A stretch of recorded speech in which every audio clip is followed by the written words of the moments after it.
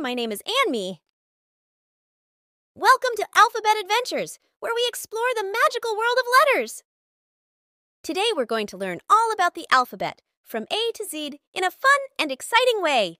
Let's start with the letter A. A is for apple. Can you say apple?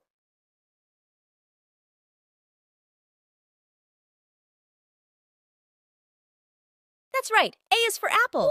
Whoa! Now let's move on to the letter B. B is for ball. Can you say ball?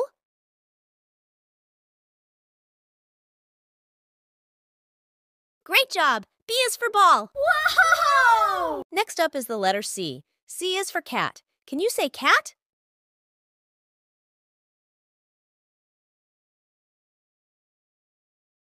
Wonderful! C is for cat. Whoa! Now let's learn about the letter D. D is for dog. Can you say dog?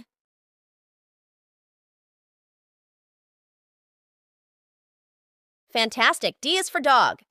Whoa! Moving along to the letter E. E is for elephant. Can you say elephant?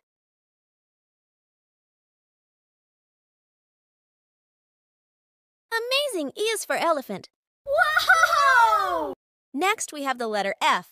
F is for fish. Can you say fish?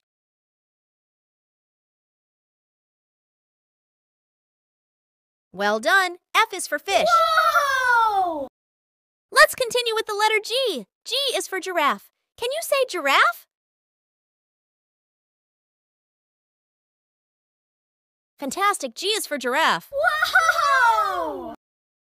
Now let's learn about the letter H. H is for hat. Can you say hat?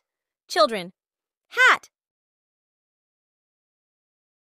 Great job. H is for hat. Whoa! Moving on to the letter I. I is for igloo. Can you say igloo? Wonderful. I is for igloo. Whoa! Next up is the letter J. J is for jellyfish. Can you say jellyfish?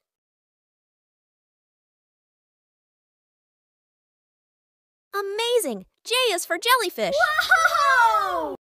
Well done, little learners. You did a fantastic job learning the alphabet from A to J.